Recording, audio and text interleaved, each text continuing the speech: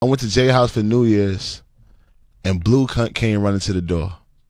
I was like, yo, I'm in a fucking dream. Wow, that's crazy. Like this nigga has a a golf court cart a golf cart how you say, a golf cart that drives down to his fucking house from the gate.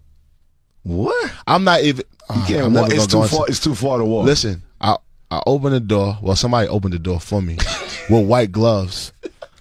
I walk in, blue. You only see blue in Google pictures. I'm saying, oh, she's a real baby in real life.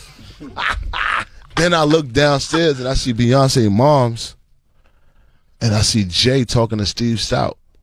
So I'm like, Wow. it's this nigga's house for real.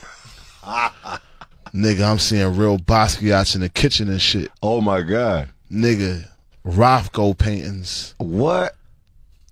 Beyonce got sculptures in there. I'm like, bro, I- and we just we just taking a tour through his house, and I'm like, yo, all right, on some real nigga shit. You from Brooklyn? I'm from Harlem. Mm.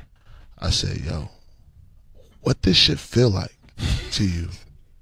He said, yo, sometimes I wake up, I don't even feel like it's mine's. Still. Let's go celebrate this.